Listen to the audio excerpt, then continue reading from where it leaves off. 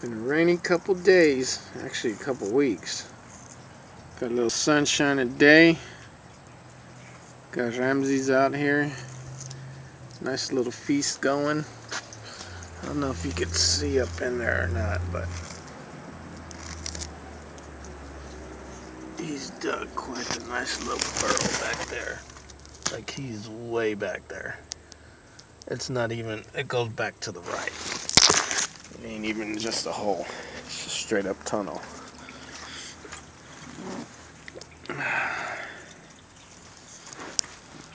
Nice beautiful sunny day watching my dog eat.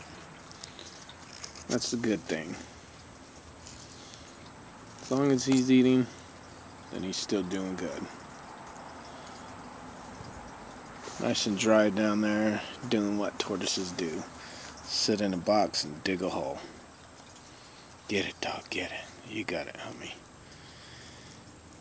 That uh, yellow stuff is some spaghetti squash. I like to throw squash and zucchini in his diet. It seems to be his favorite.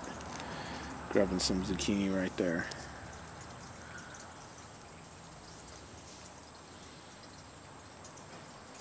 Some carrots, looks like. Not sure if he'll eat the potatoes or not. But I left some of the seeds in there. See if we get a natural reaction because in the wild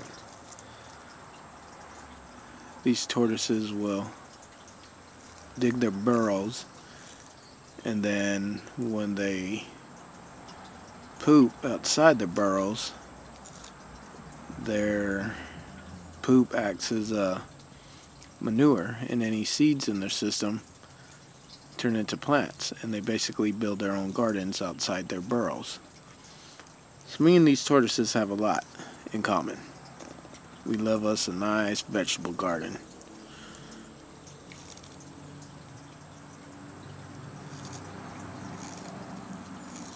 I try to leave the pieces a little bigger. Um, that's for the sake of keeping them active, making them work for it. That way he's still strong. He's getting a lot of stuff, you know. He's working his jaws. His mind is focused. It's running. He's just not down there in the hole, just chilling. He's up here negotiating. Yeah, that's what I think about my tortoise right now. He seems to like that spaghetti squash. And since it comes such a big plant or big fruit, I think that's the way to go for him.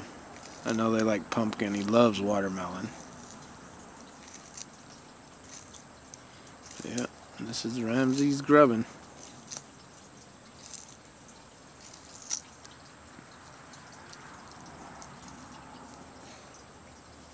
What an amazing animal.